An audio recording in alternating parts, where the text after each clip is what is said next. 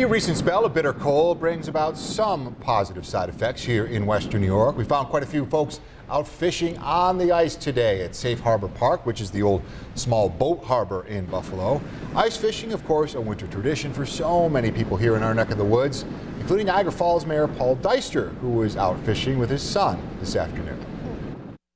Well, I think getting outside in the wintertime, you don't want to just spend all your time sitting around in the living room. You know, that gets dull. And uh, you'll be spending a lot of time in front of the television set watching the Bills and Sabres. Now it's time to get out and uh, experience the elements. Right now, the ice is about 8 to 10 inches thick, which is considered ideal for ice fishing. Today would have been a not so bad not day too for bad, that. no.